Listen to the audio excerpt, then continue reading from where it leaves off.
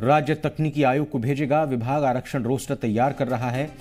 आयोग अक्टूबर में बहाली का विज्ञापन निकालेगा, दिसंबर या जनवरी से बहाली की प्रक्रिया शुरू होने की संभावना है। इस बार ना तो लिखित परीक्षा ली जाएगी और ना ही साक्षात्कार होगा। एमबीबीएस या अन्य संबंधित कोर्स से मिले अंकों के आधार पर बहाली होगी। उल्लेखनीय है कि सूबे में डॉक्टरों की भारी कमी है। सरकारी अस्पतालों में करीब 70 प्रतिशत पद रिक्त हैं।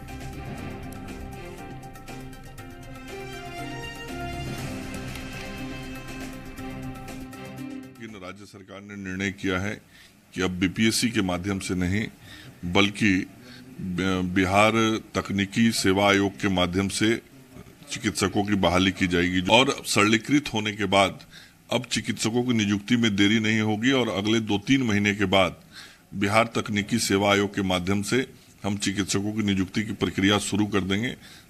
उसके बाद हमारे अस्पतालों में चिकित्सकों की संख्या बढ़ने लगेगी।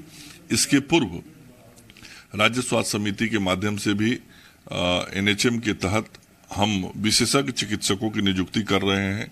अभी तीन विभाग गाइनोकोलॉजी पेडिट्रिक्स और एनेस्थेटिस्ट, के 408 पदों की वैकेंसी निकल चुकी है, जिसके आलोक में आवेदन आ चुके हैं। उनकी भी नियुक्ति की प्रक्रिया एक महीने के अंदर पूरी कर ली जाएगी।